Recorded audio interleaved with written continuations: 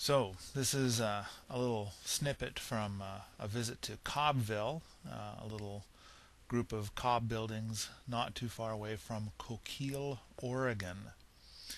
And uh, we're looking at uh, one of the typical cob structures here, made entirely out of mud and straw, uh, with a kind of a green roof.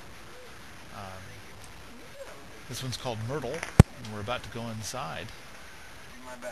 So Myrtle is, would you say it's a place where everybody gets together?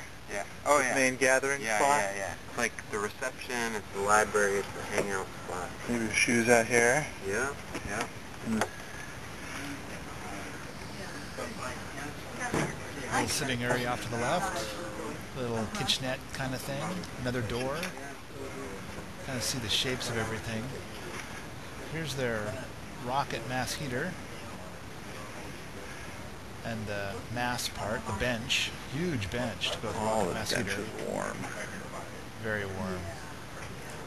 The view out the big glass window to their gardens.